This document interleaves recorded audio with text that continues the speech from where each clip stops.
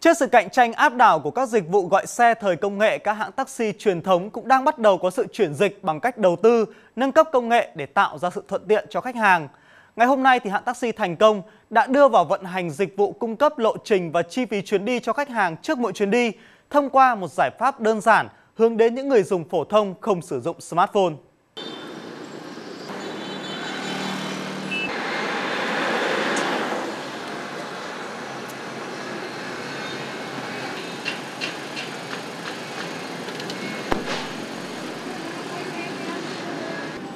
Đây là ứng dụng thành công app dành cho lái xe được cài đặt sẵn trên các máy tính bảng mà hãng xe này đã trang bị cho tài xế. Khi khách hàng lên xe, tài xế nhập địa điểm khách hàng muốn đến, ngay lập tức ứng dụng sẽ hiển thị lộ trình ngắn nhất cũng như giá cước của chuyến đi.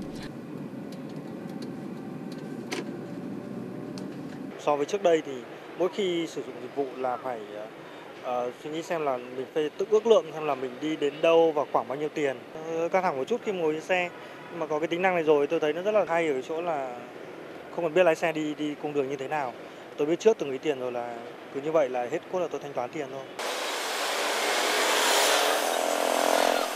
Việc biết trước giá cước và lộ trình không phải là mới tại Việt Nam, nhưng tất cả các hãng taxi bao gồm cả Uber và Grab đều yêu cầu khách hàng phải có điện thoại smartphone và cài đặt phần mềm của hãng mới có thể trải nghiệm được.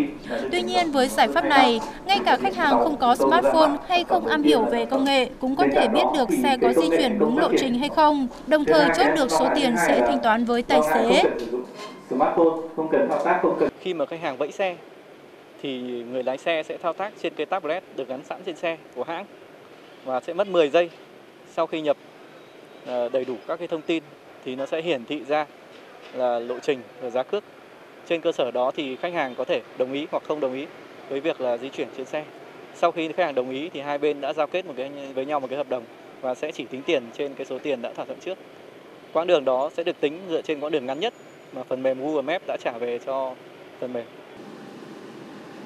Được biết hiện nay Thành Công Taxi là hãng xe taxi đầu tiên tại Việt Nam hoàn thành việc biết trước giá cước, minh bạch lộ trình với các hình thức đi xe. Lên xe là có thể biết trước giá tiền, xóa đi những lo ngại của khách hàng khi sử dụng taxi truyền thống về việc giá cước hay cùng đường đi.